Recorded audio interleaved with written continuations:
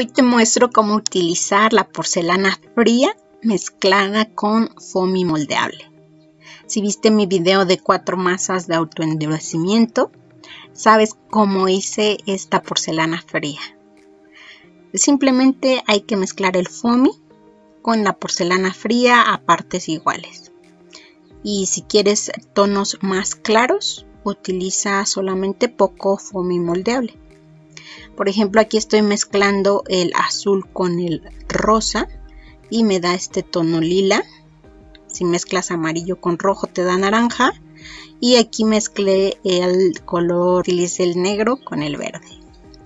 Estoy utilizando esta porcelana fría para forrar esta llave, pero puedes forrar infinidad de cosas, las memorias USB, los cepillos de dientes, cualquier cosa.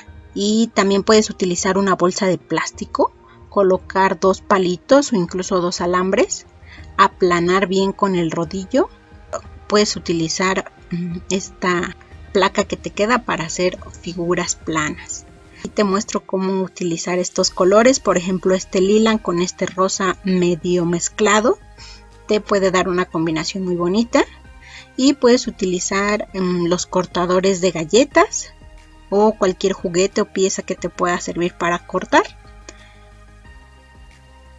La ventaja de utilizar los moldes es que ya te sale la figura hecha y solamente la pegas a un segurito. Aquí tengo algunas figuritas básicas ya hechas. Como me encantan los aguacates, hice todos estos. Si te das cuenta ya están perforados porque van a ser llaveros. Hice algunos muy chiquititos, algunos medianos, hasta unos más grandes. La ventaja de usar el foamy es que la masa la conviertes al color que tú quieras. Si viste mi video de manualidades para hacer en casa, sabes cómo forramos esta botella.